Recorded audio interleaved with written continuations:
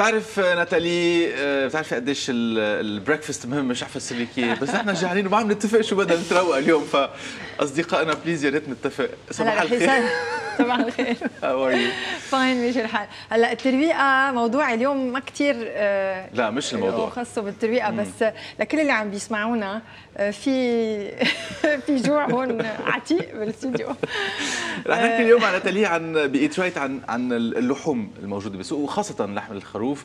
هل آه، الخروف فيه ميزات غير عن بقايا الحيوانات؟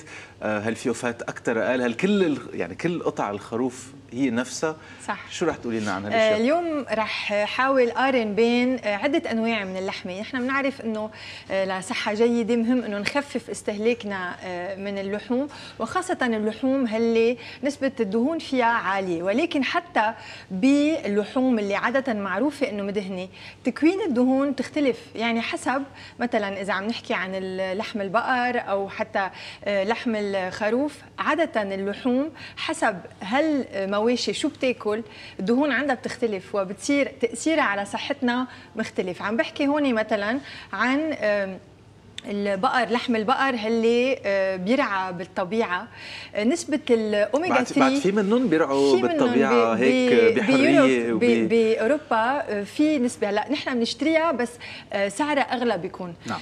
نحن بنعرف وقت اللي بنحكي بنقول grass-fed meat grass-fed أو أو, أو اكلي المواشي اللي أو grain-fed شو الفرق بين المواشي اللي اكلي عشب أو المواشي اللي اكلي حبوب؟ نحن بنعرف إنه العلف علف هاللحوم النوم هيدي آه، عادة بتأثر كثير على تكوين ال fat اللي فيها. so ال grass-fed دراسات فرجت إنه نسبة الاوميجا 3 فيها أعلى. ليش؟ لأنه العشب ال cattle أو البقر بيحولوه أكثر لاوميجا 3 so نسبة الاوميجا 3 في أعلى ونسبة الفيتامين اي والفيتامين اي كمان تختلف وبركي لأن هي تغذية القطيع الطبيعية. طبيعية يعني 100% أصلا هيدا اللي صح. يعني هن بيرعوا. صح 100% آه ما بياكلوا آه حبوب.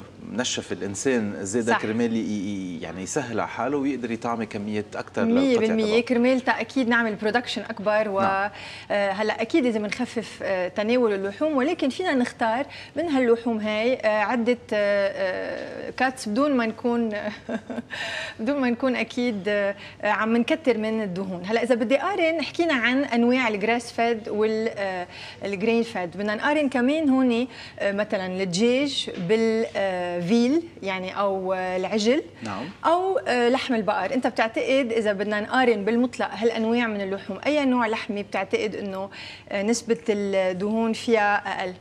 نسبة الدهون فيها أقل. إيه يعني إذا حكينا قرنا آه، سفينة دجاج مع قطعة لحمة ستيك آه، إن كان آه، معزة أو بقر أيها فيها نسبة دهون أقل؟ هيك نشوف المشاهدين إذا بيقدروا يعملوا جس زيت الكت عم بحكي أنا هون.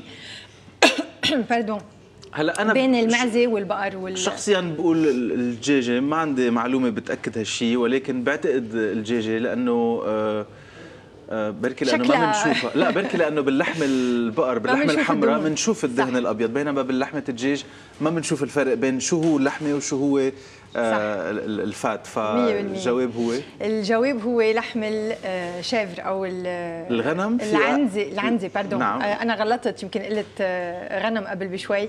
هو قصدي أنا العنزة آه لحمة okay.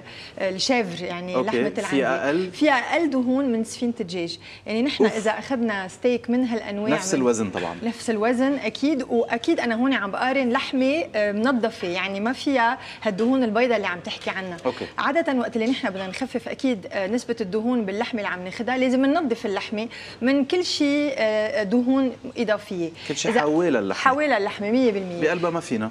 بقلبها أكيد 100% ما فينا. هلا آه، لحمة المعزة مش الغنم بعتذر على هالشغلة. لحمة المعزة إذا بدي أقارنها بلحمه البقر أو لحمة الدجاج لحمة المعزة فيها نسبة دهون أقل. أوكي. هي تقريبا 40% دهون أقل من لحمة البقر. كمية مهمة. صح. نسبة عالية. 100% بدي أقارن كمان لحمة ال veau ال veau blanc. العجل. العجل اللي عادة أطرى بتكون ونحن كل ما طرية اللحمة كل ما آه، مبدئيا فيها نسبة دهون أكثر. ولكن ال veau blanc أو ال veal يعني العجل الصغير نسبة الدهون فيه أقل حتى ولو كانت اللحمة. أطرى. لسبب بسيط هو إنه ال veau blanc عادة أو العجل ما بيكون العضل تبعه قسي.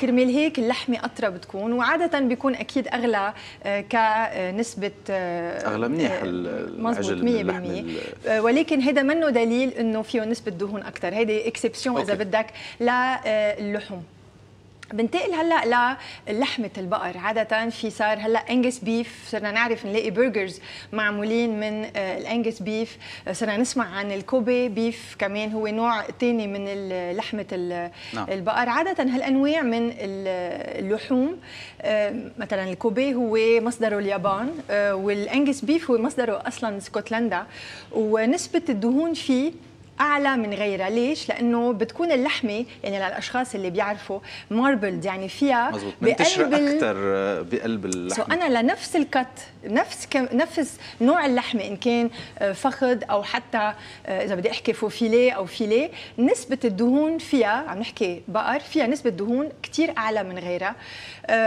دونك يعني مشان هيك يمكن بنحب نكهتها هلأ الدهون هي اللي بتعطي نكهة للمأكولات.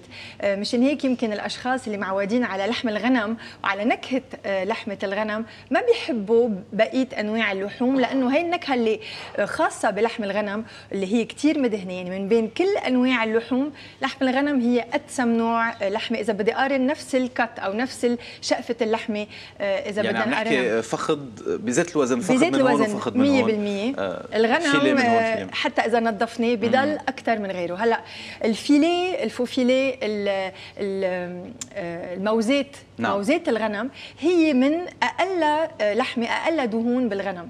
يعني إذا أنا بدي وفر دهون وضروري أكل لحم غنم خاصة اليوم آه، بعيد الأضحى المبارك الموزات هي أقل شيء فيها دهون من بين أنواع اللحوم. ليش؟ لأنه هي بالنهاية جاية من من اللاج يعني من نعم. إجر من إجر الكاتل وهي أكثر شيء آه، فيها ضحك المقادم.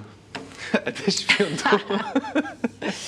سؤالك كثير كثير مهم ألبير. المقادم عادة فيها جيلاتين كثير فيها كوليسترول كثير في بس هي صحية يعني. آه، هي ما فيها نسبة دهون كثير عالية. يعني آه، فيها كوليسترول نعم. maximum نعم. آه، ولكن نسبة الدهون فيها مش مثل ما نحن آه، بنفكر.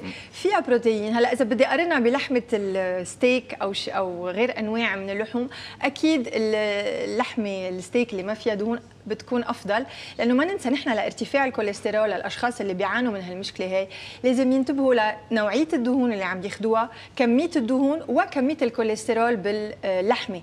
يعني بعطيك مثل القصبة. لحمة القصبة ما فيها كثير دهون ولكن فيها نسبة كوليسترول كثير عالية.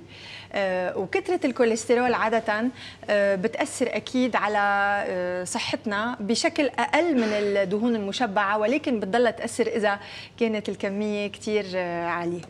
بعد معنا ثلاث دقائق ناتالي شو فينا هلأ شوي على الخروف بهالنهار صح هلأ مثل ما عم بقول إذا بدنا ناخذ خروف خلينا ننقي أول شيء اللحمه لازم تتنظف كثير منيح.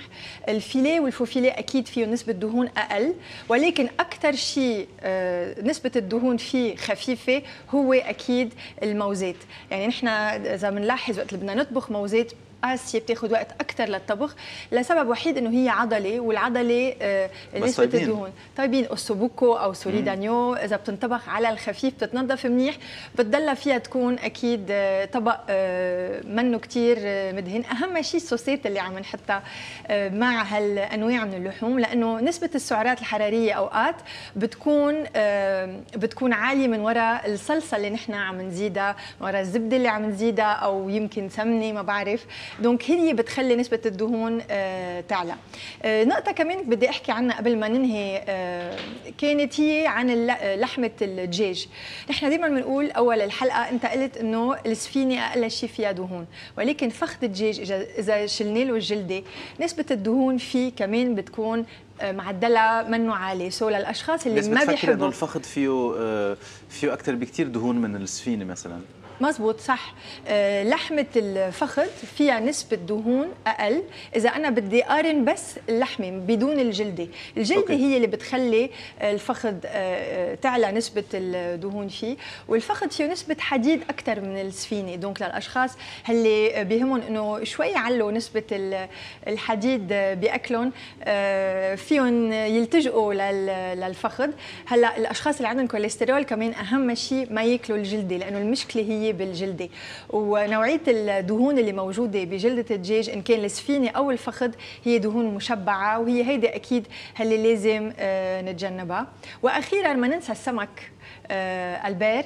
آه السمك مهم جدا. حتى السمو اللي أنا كثير أشخاص بيسألوني بس فيه fat معروف فيه السمو مدهن بس بضلوا نسبة نعم. الدهون نعم. فيه أقل من غير أنواع اللحوم so للأشخاص اللي بدهم ينتبهوا صار عندهم يمكن شوية معلومات أكثر. thank you very much merci على المعلومات. آه، رح رح ناخذ وقفة كثير سريعة.